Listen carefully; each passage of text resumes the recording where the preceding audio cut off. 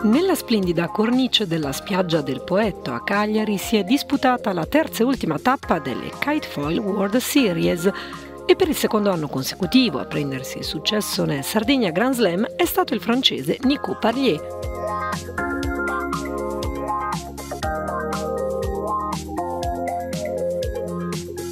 Al transalpino però non è bastata la vittoria nel mare sardo per laurearsi campione del mondo.